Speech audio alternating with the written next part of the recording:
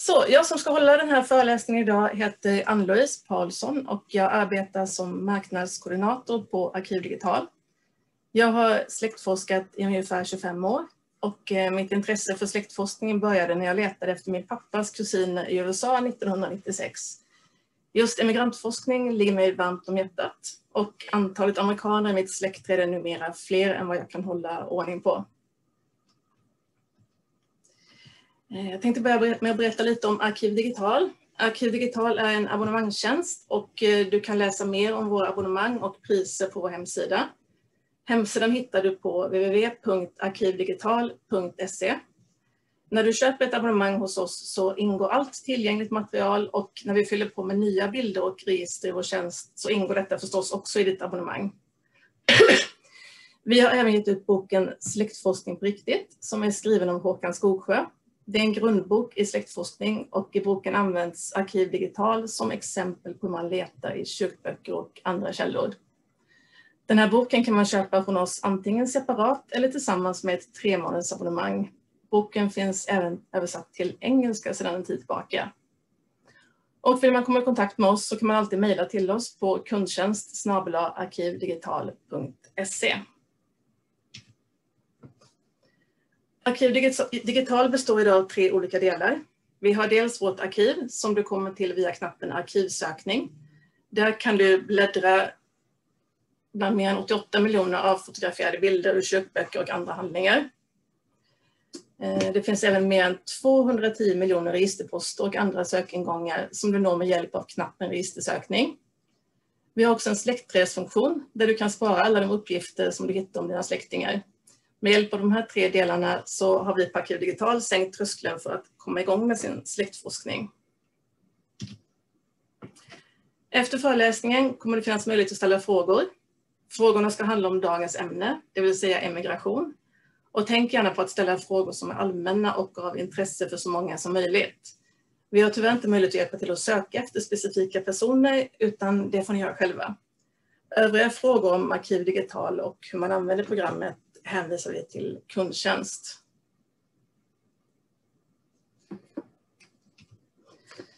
Dagens föreläsning handlar alltså om hur man söker migranter med hjälp av det material som finns tillgängligt hos oss på Arkiv Digital. Mellan åren 1850 till 1930 var det cirka 1,3 miljoner svenskar som emigrerade till USA. Det var nästan en femtedel av Sveriges befolkning på den tiden och av de här 1,3 miljonerna så var det ungefär 200 000 emigranter som kom tillbaka hem till Sverige igen för att stanna.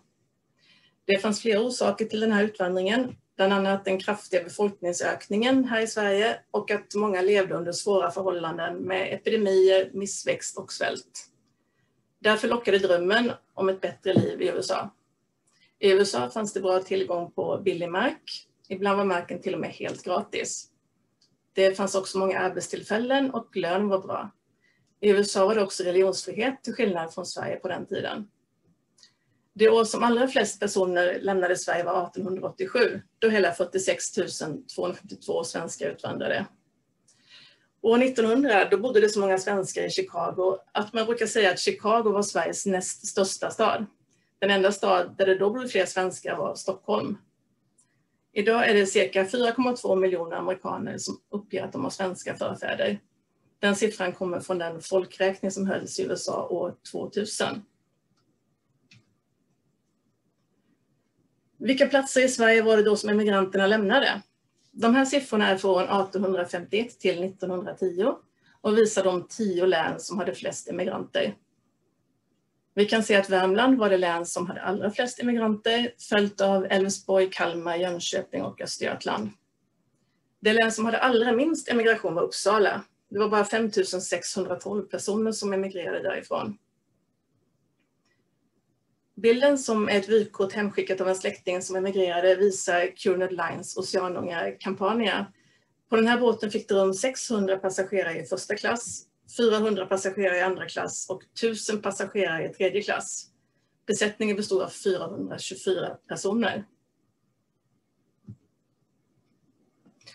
Hur reste då emigranterna till USA? De allra flesta åkte från Göteborg, som var den stora utvandrarhamnen i Sverige. Från Göteborg åkte man båt till Hull i England. Sedan tog man tåget till Liverpool och framme i Liverpool gick man ombord på någon av de stora atlantångare som gick till New York. Göteborg var den här hamn som allra flest reste ifrån, men en del emigranter åkte även från Stockholm, Norrköping, Malmö och Helsingborg. Ibland valde man också att ta båten från något av våra grannländer och då var det vanligast att man åkte från Köpenhamn, Hamburg, Bremen eller Oslo som på den tiden hette Christiania. I USA gick man oftast i land i New York, men de här båtarna lade även till i Boston, Philadelphia, Baltimore eller i Quebec, Montreal eller Halifax i Kanada. På 1860-talet då började man använda de transatlantiska ångfartygen och då minskade resans längd. Från att ha tagit flera månader tog det bara några veckor att korsa Atlanten. 1915 då startade svenska Amerikalinjen en direktrutt mellan Sverige och USA som då gjorde resan ännu enklare. De tidiga migranterna de fortsatte oftast resan i USA med vagn, med båt eller till fots. Så småningom byggdes dock järnvägsnätet ut både i USA och här hemma i Sverige och det blev allt vanligare att man tog tåget från New York till sin slutdestination i USA. Oftast kunde man redan här hemma i Sverige köpa en biljett som gällde från järnvägsstationen hemma i Sverige till slutstationen i USA. Biljettpriset det varierade beroende på rutt och klass och om man köpte bara båtbiljett eller även tågbiljett. Under åren 1870 till 1910 kostade en biljett ungefär mellan 100 och 200 kronor. Och när man sedan kunde åka direkt med svenska Amerikalinjen kostade en biljett cirka 450 kronor.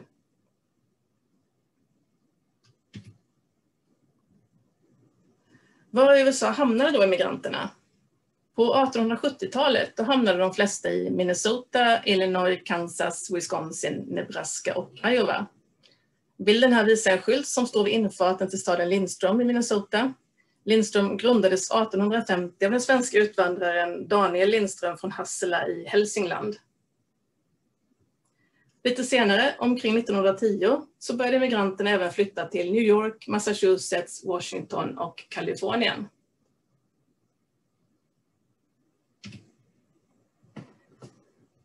Och idag så är det i de här staterna som man hittar svenskättlingarna. Allra flest svenskättlingar finns i Minnesota, både när man ser till antalet personer och till den procentuella andelen. Sedan när man ser till antalet personer så är det även Kalifornien, Illinois, Washington, Michigan, Florida, Wisconsin, New York, Texas och Massachusetts som har ganska många svenskättlingar. Och eh, tittar man på procentandelen så finns det många i de, här ställ, i de här staterna dit de emigrerade från början, som Nordakota, Nebraska, Utah, South Dakota, Washington, Idaho, Wyoming, Montana och Iowa. Och den här kartan är då baserad på samma siffror och visar var svenskättlingarna bor. Och det är då enligt den folkräkning som gjordes år 2000. Och som ni kan se så är det inte så många som finns kvar i trakterna kring staden New York där de en gång i tiden steg i land. Utan man har till stor del flyttat sig västerut i landet. När emigranterna kom till USA så ändrade de ofta stavningen på sina namn. Sonnamn tappade nästan alltid ett S, så att Johansson med två S blev Johansson med ett S. Och just namnet Johansson ändrades sedan oftast till Johnson. Kvinnor som hade ett efternamn som slutade på dotter här hemma i Sverige, de använde ofta ett namn som slutade på son när de emigrerade. En kvinna som här i Sverige kallade sig för till exempel Svensdotter blev Svensson när hon emigrerade. Många migranter ändrade också stavningen på sina förnamn för att passa in bättre i det amerikanska samhället. Några exempel är att Sven blev Svan, Karl blev Karl med C eller Charles, Nils blev Nels, Maria blev Mary, Gustav blev Gast, Lovisa blev Louise, Anders blev Andrew och Matilda blev Tilly. På samma sätt ändrades också stavningen på efternamnen. Svensson blev oftast Swanson, Nilsson blev Nelson, Karlsson blev Karlsson med, med C och så vidare.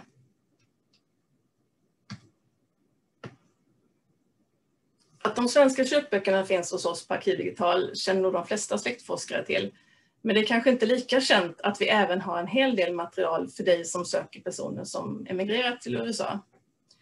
Vi har ett register som heter Emigranter här kan du söka bland nästan 1,5 miljoner personer som emigrerat. Det finns också en länk så att du enkelt kan dubbelkolla uppgiften i originalkällan som då är passagerarlistan. Vi har även registret svenskar i USA 1940. Där kan du söka de personer som vid 1940 års folkräkning uppgav att de var födda i Sverige. Även här kan du klicka dig vidare för att dubbelkolla uppgiften i originalkällan. Förutom de här båda sökbara registren har vi även svensk-amerikanska kyrkböcker och en del andra tryckta skrifter som man kan bläddra i i vår tjänst.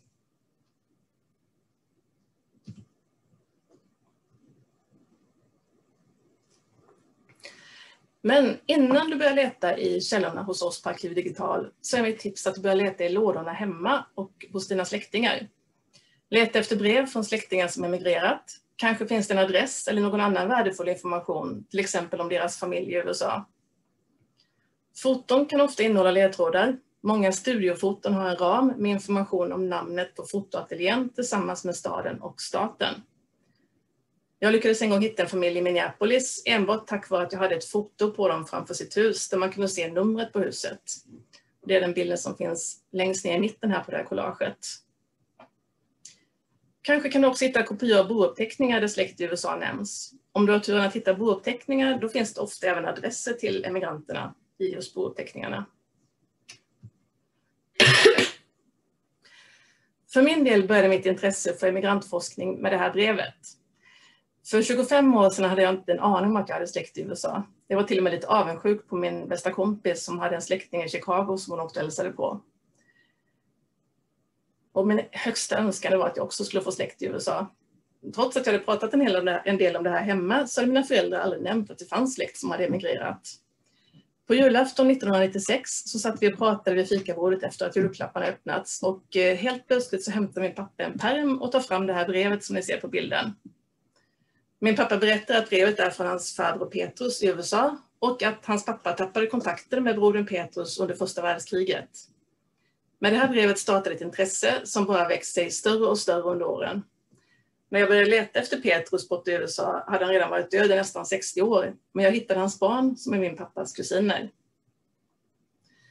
Förutom att det är väldigt roligt att ha det här brevet bevarat och att kunna läsa om Petrus nyinköpta bil som går över både backar och stenar så innehåller brevet också en viktig ledtråd. Dels adressen till Pleasant Street i Corey, Pennsylvania, men framförallt efternamnet.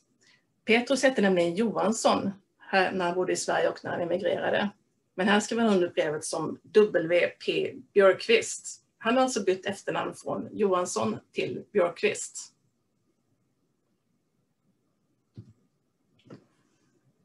Det här vykortet skickade Petrus hem till sin bror, min farfar, den första juli när han bodde i USA.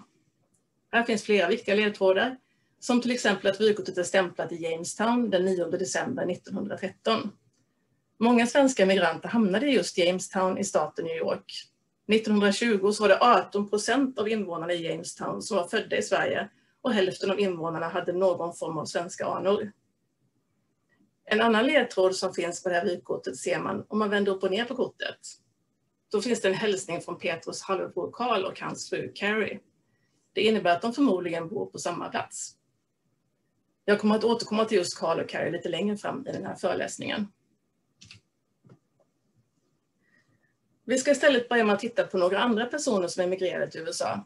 Den här familjen hade 17 barn och från nummer 12 så döptes barnen till ganska speciella namn.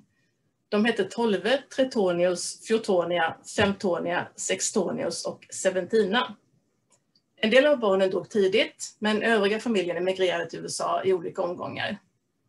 Några av dem åkte fram och tillbaka mellan Sverige och USA flera gånger, innan samtliga barn så småningom slog sig ner i USA för gott. Mamman, Maria Lovisa Ahlstrand, återvände hem till Sverige där hon avled 1924. Pappan, Carl Lorenz Nilsson, gjorde hela 19 resor fram och tillbaka över Atlanten innan han avled i Minnesota 1915. Jag tänkte att vi ska försöka hitta uppgifter om Svea Alexandra Seventinas emigration. Hon var den yngsta av de 17 syskonen.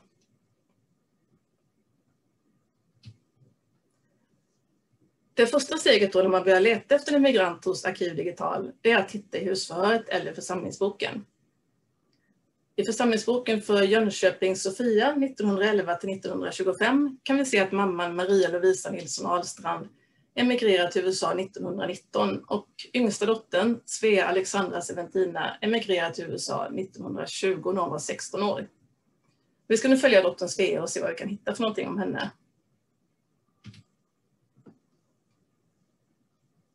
Vi börjar med utflyttningslängden för 1920. Där hittar vi Svea Alexandra Seventina tillsammans med sin bror Lars Wilhelm Tretonius. De båda syskonen emigrerar alltså tillsammans, vilket är en bra ledtråd när vi ska fortsätta leta. Vi ser också här att de ska till Nordamerika. Nästa steg är att söka efter Svea i emigrantregistret. Det här registret hittar du genom att klicka på den blå knappen registersökning längst upp till vänster och sedan väljer du emigranter i listan över registerkällor. Här finns lite olika sökmöjligheter. Man kan klicka på avancerad sök och då har man möjlighet att fylla i ett datum för emigration och namn på fartyg. Om man har svårt att hitta det man söker så är det bra att prova att söka på olika kombinationer av information. Kanske bara efternamn och datum eller bara födelsedatum. Jag väljer att söka på förnamn och efternamn och födelsedatum och hittar just den person jag letar efter. I sökresultatet ser vi att Svea Nilsson emigrerat den 29 maj 1920 med båten Drottningholm.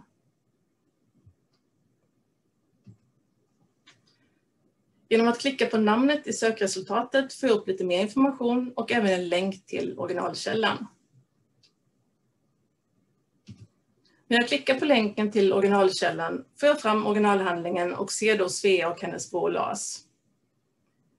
Notera att här använder man bara det första av deras tre förnamn, även om det är någon som i efterhand har fyllt i broderns övriga båda namn. Det är inte alltid det just det första namnet man använder, så man får vara lite kreativ och söka på lite olika kombinationer av namn om man inte hittar rätt direkt. Här ser vi att Svea och Lars ska till New York. Just i det här fallet så stannade de här båda personerna i New York. Annars är det vanligt att det står New York som bestämmelseort, men att emigranterna sedan fortsatte till andra delar av USA. Här har man också skrivit ut hela födelsedatumet, vilket gör det enklare att kontrollera att det är rätt personer jag har hittat. Och vi ser också att de föddes i Myresjö, i Jönköping, vilket stämmer med de uppgifter jag har sedan tidigare.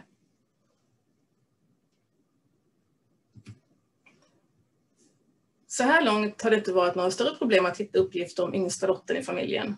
Men det faktum att hon är kvinna kan göra det lite mer komplicerat att komma vidare och hitta mer information om henne i USA. När kvinnorna gifte sig i USA bytte de efternamn, så det är sällan det lönar sig att söka efter en kvinnlig emigrant med hennes namn som ogift. Då är det bra att använda sig av bouppteckningar. I det här fallet så avled mamman här hemma i Sverige 1924, vilket innebär att det borde finnas en bouppteckning efter henne. Jag har provat att söka i Arkiv Digitals bouppteckningsregister. Det hittar du genom att klicka på knappen registersökning längst upp till vänster och sedan välja bouppteckningsregister under registerkälla. Det här registret är under uppbyggnad och omfattar inte hela Sverige än, men jag har tur och hittar mamman Maria Lovisa Ahlstrand direkt. Om du inte hittar personen via registret får du istället söka efter bouppteckningen via arkivsökningen. Jag klickar på namnet i sökresultatet för att komma vidare till själva bilden från bouppteckningen.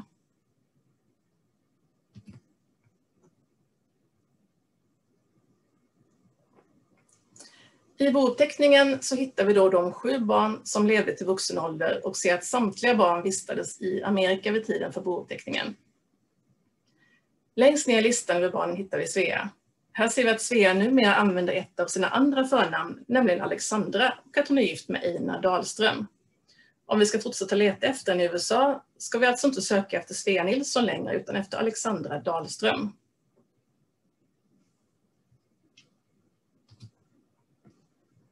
Vi provar att söka efter henne i registret svenskar i USA 1940. Det här registret innehåller personer som i den amerikanska folkräkningen 1940 uppgav att de var födda i Sverige. Man kan med andra ord söka efter personer som har emigrerat från Sverige till USA, men man kan inte söka efter deras barn om barnen är födda i USA. Däremot kan du fortfarande se barnen om de finns med på samma bild i folkräkningen. Du hittar det här registret genom att klicka på knappen registersökning längst upp till vänster i vårt program och eh, sedan väljer du svenskar i USA 1940 i listan med registerkällor. Jag söker efter Alexandra Dahlström och hittar henne direkt. Om man kryssar i ungefärlig sökning fungerar det att söka på Dahlström med Ö, annars får man skriva Dahlström med O eftersom det är så namnet stavas i folkräkningen. Och det beror ju helt enkelt på att man inte använder Å, Ä e och Ö i USA.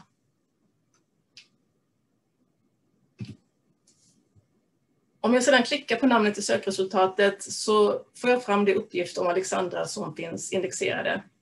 Här finns bland annat gatuadressen. Hon bor på Prospect Place 486 i Kings County i New York. Om jag klickar på länken till källan så kommer jag till bilden från den amerikanska folkräkningen, eller census som det kallas i USA.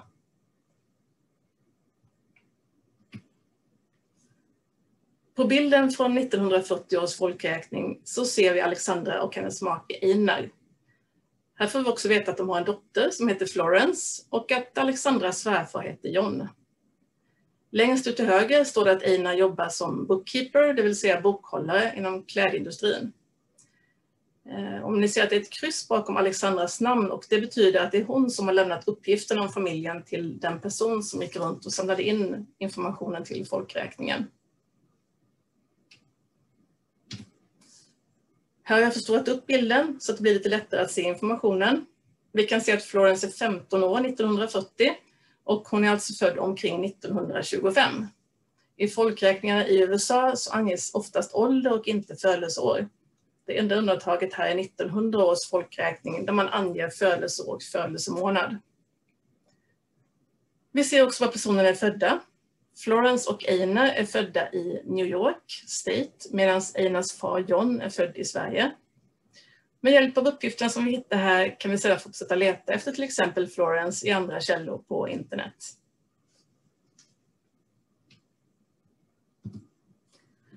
Ett tips är att om du har ett släktträd hos Arkiv Digital, då kan du söka i våra register direkt från ditt släktträd. Leta reda på den person som du vill söka efter öppna personkortet och klicka på de tre punkter som visas längst upp till vänster på personkortet. Sedan väljer du sök i register och det register du vill söka i.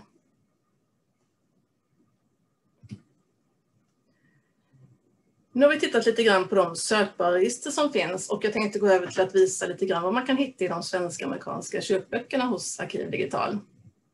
De svensk-amerikanska köpböckerna liknar de svenska köpböckerna till upplägget och de här köpböckerna fanns hos de svensk-amerikanska församlingar som bildades där emigranterna slog sig ner i USA. Böckerna innehåller bland annat uppgifter om födslar, vigslar, dödsfall och medlemskap och ibland finns det även jubileumsskrift och andra berättelser. Arkiv Digital har fotograferat en del av de svenska amerikanska kyrkböckerna och du hittar dem genom att välja arkivsökning längst upp till vänster i programmet. Sedan väljer du USA som land och sedan väljer du vilken delstat du vill titta i.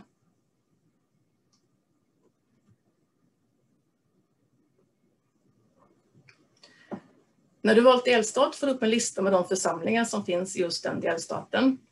Klicka på en av församlingarna för att se vilka böcker som finns i just den församlingen. Och här ser man då de böcker som finns tillgängliga för Red Oak Bethlehem Lutheran Church i Iowa som var den församling som jag klickade på. Och här ser vi att det bland annat finns församlingsböcker, födelseböcker, vigselböcker, dödböcker, konfirmationsböcker med mera.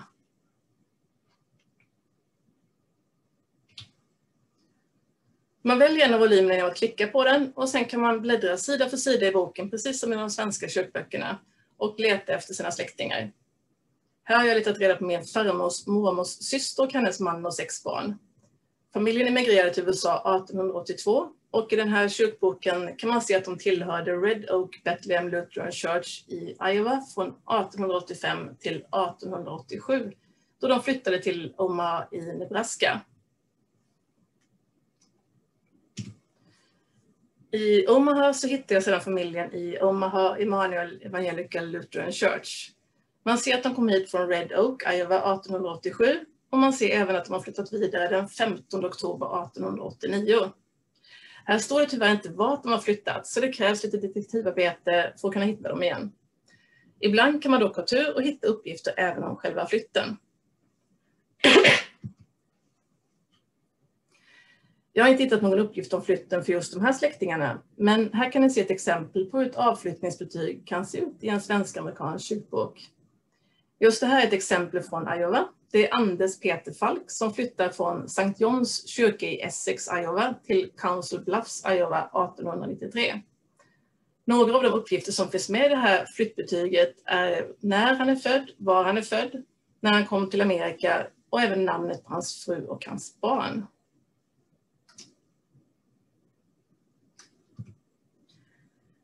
Jag tänkte visa några fler exempel på uppgifter om de svenska amerikanska kyrkböckerna.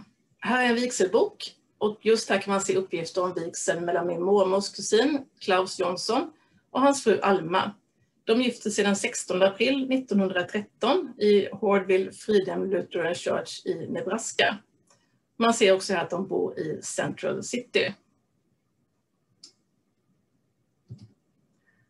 Den här boken kallas för Church Register och den motsvarar våra husförhör här i Sverige. Det här är samma familj som på förra bilden, men här har det tillkommit en son också. Man ser personernas bostadsort som är Central City, det står längst till vänster. Sen ser man deras namn, födelsedatum och var de är födda. Man får även veta att sonen Karl Adolf konfirmerades den 9 juli 1931 och det är det datumet som står längst till höger i bilden. I samma bok så hittar vi även brodern till Klaus och broderns familj. Det är Anton Bertrand Rickard Johansson och hans fru och fem barn. Den yngste sonen Robert Edward föds den 16 september 1934 och dör bara en vecka senare, den 23 september. Dödsdatumet syns inte just här på bilden för jag valde att förstora bara en del av bilden så att det skulle vara lättare att läsa namnen. Eh, detta barn hade vi alltså aldrig kunnat hitta i någon folkräkning då folkräkningarna bara görs vart tionde år och den här pojken levde alltså bara en vecka. Datumet i högerkolumnen på bilden är när de olika barnen konfirmerades. I jubileumsskriften 50 years of Fridhem, 50 år med Fridhem, så finns det till och med en bild på Klaus Jonsson som satt med i kyrkans styrelse. Han står här i övre raden näst längst till höger. Och det är förstås jättekul att kunna hitta en bild på sina släktingar.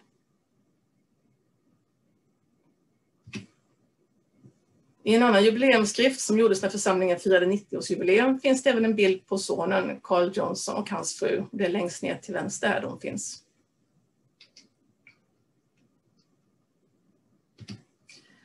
Förutom de här mer traditionella kyrkböckerna finns det massor av annat spännande som man kan hitta bland de svenska amerikanska kyrkböckerna. Och jag tänkte visa några exempel här. Frederick Trade Lake Baptist Church i Wisconsin är ett exempel på en svensk-amerikansk församling där man kan hitta mycket intressanta saker. Här ser vi till exempel en bok där man klistrat in noter och små vykort. I samma bok finns även det här gruppfotot på församlingsmedlemmarna framför kyrkan. Och det finns även en bild på kyrkokören. Som ni kan se så är det nästan bara svenska efternamn på körmedlemmarna.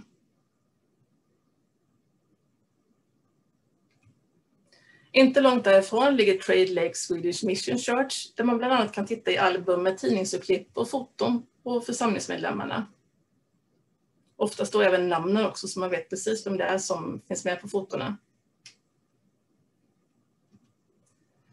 I en församling i Kansas finns det bland annat bilder på konfirmanderna från olika årtal. Så kanske kan man ha tur att hitta sin släkting just här.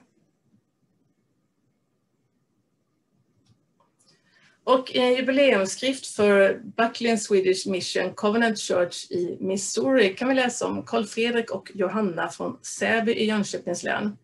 Ett helt uppslag berättar om paret och deras tio barn, varav nio av barnen föddes i USA. Förutom namn och årtal får man reda på vem barnen gifte sig med, var de bodde och vad de arbetade med. Man får även se foton på de tio barnen. Detta är förstås väldigt värdefull information för den som är släkt med de här personerna. I boken finns också många liknande levnadsbeskrivningar. Om man har släkt som kan ha varit medlemmar i Sloan Evangelical Covenant Church i Iowa ja, då kan det löna sig att titta igenom den här boken som innehåller en mängd urklippta dödsannonser.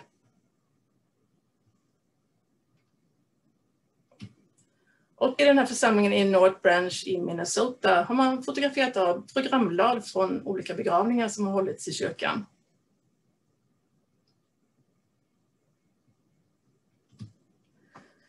Om man har släkt i Saliensburg i Kansas, då kan man ha turen att få se sina släktingars hus på bild i den här boken. Här ser vi till exempel uppe till höger Olof Karlssons bostad, står det.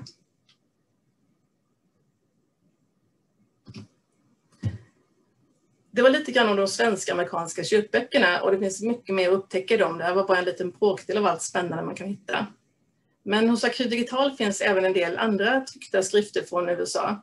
Man hittar de här böckerna genom att välja arkivsökning längst upp till vänster i programmet och sedan väljer man tryckt litteratur under arkivtyp och väljer USA som land.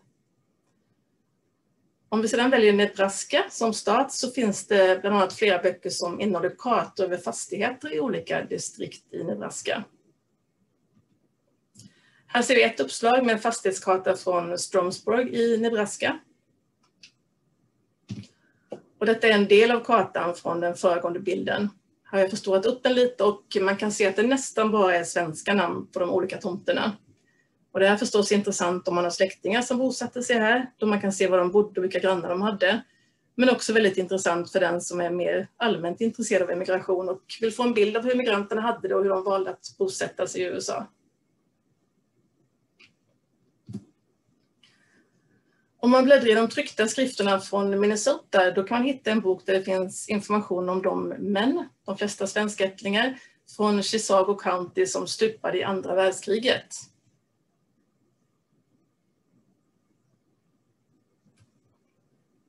Vi har också 68 volymer med kalendern Korsbaneret. Korsbaneret publicerades av Augustanasynoden i USA mellan 1880 och 1950. Kalendern utkom varje år och innehåller nyheter från kyrkor och församlingar. Det finns dödsrunor för personer som var verksamma inom kyrkan, artiklar om kyrkomöten och mycket annat. Här ser vi ett exempel på en dödsruna från eh, korsbaneret. Jonas Peter och Greta-Lisa Lundholm kom från Åsede och Vetlanda i Jönköpings län. Och här kan man läsa om deras emigration samt var de bosatte sig i USA och att de var verksamma i församlingen där de bodde i Minnesota.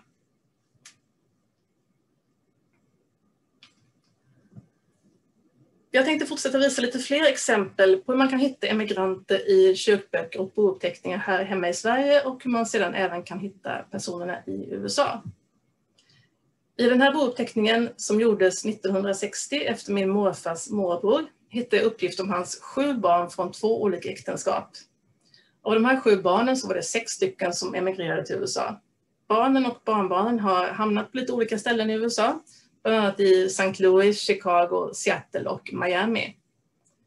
I bouppteckningen finns adresser till samtliga personer och bouppteckningen ger oss också information om vad döttrarna heter som gifta.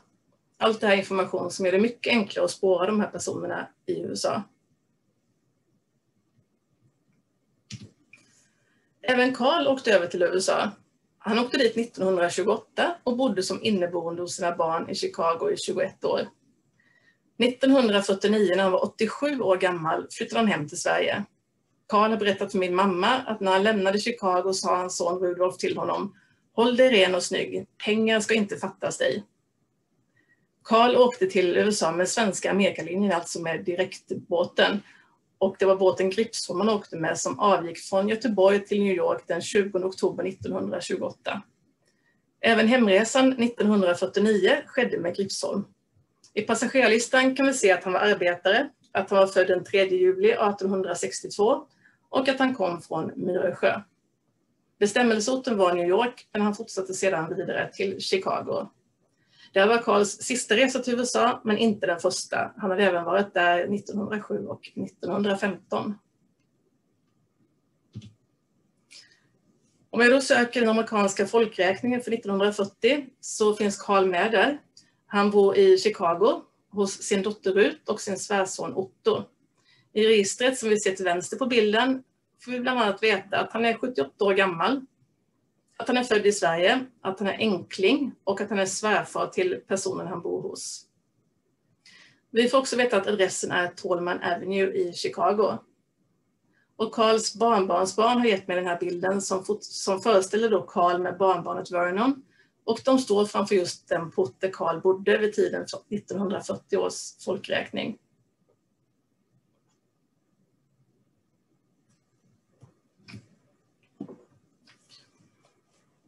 I början av den här föreläsningen så nämnde jag brevet från min farfars bror Petrus, som var det som fick mig att börja släktforska och emigrantforska. När Petrus emigrerade 1913 så åkte han till sin halvbror Karl August som emigrerat sex år tidigare, 1907. Här ser vi Karl August i församlingsboken i Vetlanda och en notering längst till höger om att han emigrerat till Nordamerika den 26 april 1907.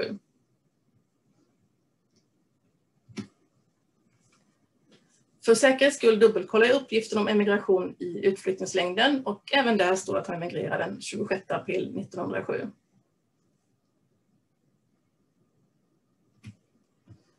I passagerarlistan finns Karl August Karlsson med och vi ser att han åker iväg den 22 maj 1907 och fartyget heter Orlando och han ska till Jamestown i staten New York.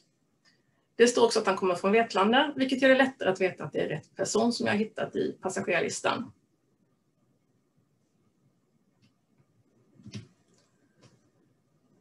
Karl Augusts pappa är okänd, men jag letar reda på bouppteckningen för hans mamma.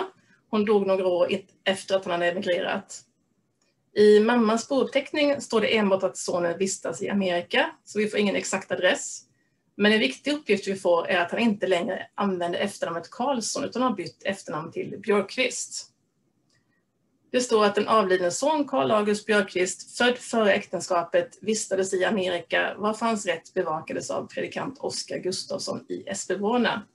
Så även om vi inte får en adress så vet vi nu att han heter Karl August Björkqvist och inte Karl August Karlsson. Med den informationen så söker jag efter honom i svenskar i USA 1940, alltså den amerikanska folkräkningen. Och där hittar jag Karl A Björkqvist med frun Carrie och barnen Magdalene, Robert och Jeanette. Hade jag inte fått reda på att han tagit efternamnet Björkqvist hade det varit betydligt mer komplicerat att hitta honom borta i USA. I folkräkningen får jag också reda på att de bor på Linden Avenue i Glendale i Los Angeles. Så även om Karl August från början befann sig i Jamestown i staten New York så hamnade han så småningom i Kalifornien. Och eh, vill jag veta mer om honom och hans barn så är det alltså i Kalifornien jag ska fortsätta leta.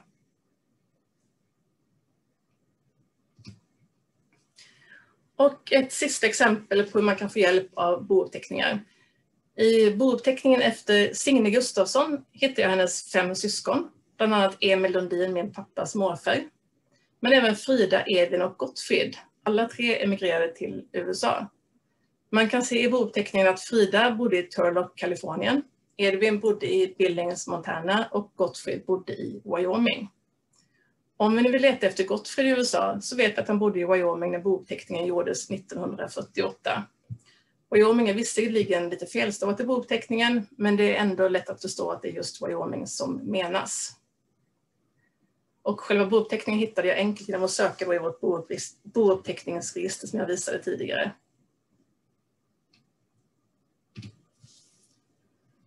När jag söker efter Gottfrid i registret svenskar i USA 1940 så hittar jag honom. Mycket tack vare att jag vet att jag ska leta just i Wyoming efter honom. Annars kan det vara knepigt när man letar efter någon som har ett så pass vanligt efternamn som Johansson. I folkräkningen ser vi att Gottfrid nu kallar sig Johnson i efternamn och att han bor i Park County i Wyoming tillsammans med sin fru Blanche. Den uppmärksamme kanske noterat att i bouppteckningen så stod det att han var ogift och här är han gift. Folkräkningen gjordes 1940 och bouppteckningen, bouppteckningen gjordes i december 1948. Eftersom Gottfrids fru avled i början av 1948 så kan det vara en förklaring till att han anges som ogift i bouppteckningen. Sedan var kanske inte alltid informationen om släktingarna borta i USA helt exakt och det kan säkert ha blivit lite missförstånd när uppgifterna lämnades till bouppteckningen.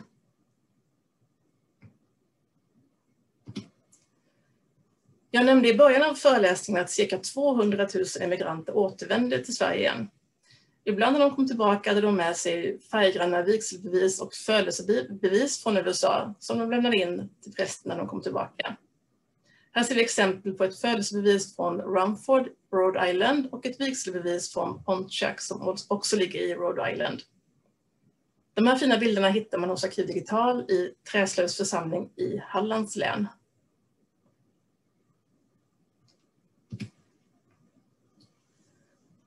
Förutom Arkiv Digital finns det många andra källor man kan behöva använda när man emigrantforskar och det här är ett litet urval av de källorna.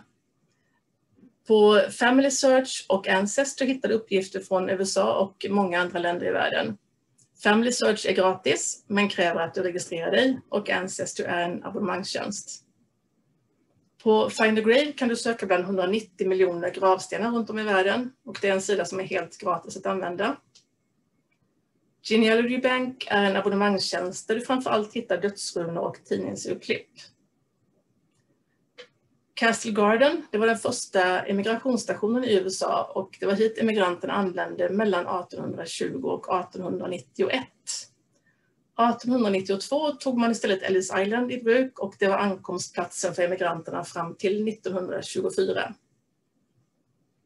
Både på Castle Gardens hemsida och på Ellis Islands hemsida kan man gratis söka efter uppgifter om emigranter. Om man söker efter personer som emigrerade från danska hamnar så kan man hitta dem hos det danska utvandrararkivet. Och här finns också tre tips på sidor där du kan söka de som emigrerade från norska hamnar. MIWeb, digitalarkivet i Norge, samt en sida som heter Norway Heritage.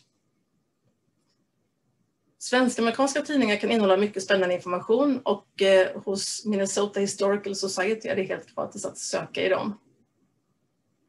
Jag kan också tipsa om Google Maps. Med hjälp av kartorna kan du se hur det såg ut där dina släktingar bodde. Och eh, på Facebook kan man söka efter sina släktingar om deras namn inte är alltför vanliga. Det finns också många Facebookgrupper som eh, man kan gå med i där man eh, fokuserar just på att hjälpa folk som söker släkt i USA.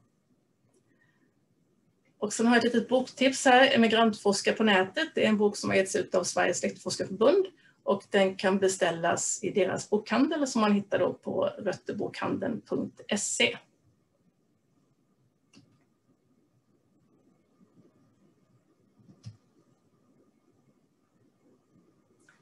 Till sist tänkte jag visa ett exempel på hur man kan använda just Google Maps för att se var i USA en släkting bott. Det här fungerar förstås bra även för andra platser och länder så länge Google har varit där och fotograferat av husen och gatorna. Vi såg tidigare en bouppteckning där man kunde hitta uppgifter om min pappas morfars syster Frida. Och eh, 1948 när hennes systers bouppteckning gjordes, då bodde Frida på 134 Vermont Avenue i Turlock, Kalifornien. Genom att söka på Google efter gatuadressen 134 Vermont Avenue, Turlock och sedan välja Street View på den karta som visas så får jag upp den här bilden på huset.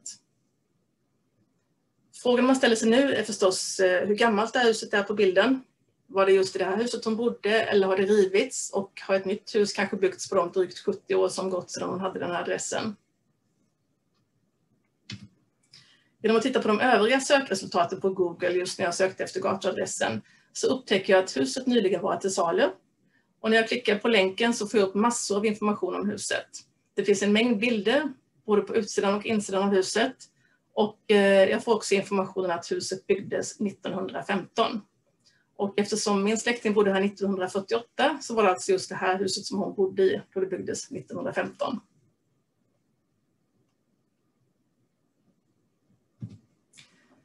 Med det så tackar jag för mig och jag hoppas att ni har fått lite inspiration till att söka efter era släktingar som emigrerat till USA. Glöm inte att titta på vår blogg där vi lägger ut nyheter varje vecka samt följa oss på Facebook, Instagram och Youtube. Den här föreläsningen har vi spelat in och den kommer att läggas ut på Youtube senare i veckan. Så vill ni se på den en gång till kan ni göra det och ni får förstås gärna även tipsa era vänner och släktingar om att de kan titta på den.